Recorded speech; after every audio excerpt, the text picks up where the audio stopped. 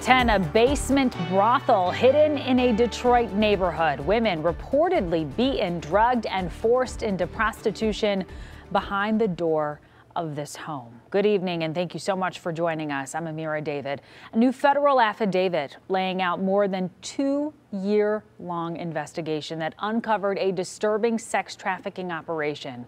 The stories of at least 10 victims are outlined in this complaint, and the FBI is hoping more victims will come forward. Tonight, this convicted sex offender is back behind bars. He's facing several charges, including sex trafficking by force and maintaining a drug house. 7 Action News reporter Brett Kast spoke with neighbors who live near the home at the center of the investigation.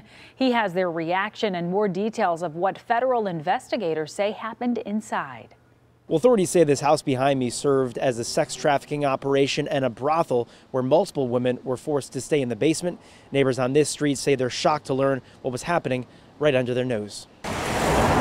Neighbors driving by this east side Detroit home had no idea the horrors that allegedly took place inside, where multiple women say they were locked in the basement, beaten, raped, and given drugs while having sex with paying customers. It's crazy to know that people were there and nobody had any idea. On Thursday, police surrounded the home, arresting Kuyamabi Summerlin, who's now facing charges for sex trafficking using force, fraud, and coercion, along with gun and drug charges. I was very shocked, very and I didn't think nothing happened like this in this neighborhood. According to this federal court affidavit, the investigation started in 2019 when the first victim reported a rape to Detroit police.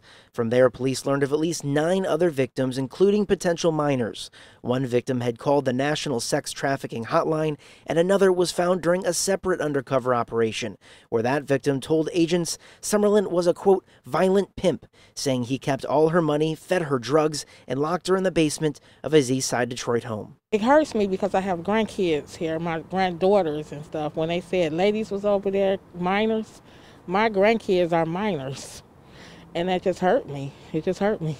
In July, FBI agents were able to find 130 commercial sex advertisements online linked to Summerlin.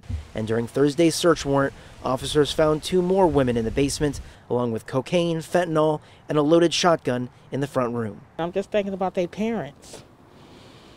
I'm just thinking about the girls' parents and stuff, and the girls now, the FBI says they are currently looking for more victims. If you have any information, you're asked to contact the FBI. The number is 313 965 2323. Reporting on the east side of Detroit, I'm Brett Kast, 7 Action News.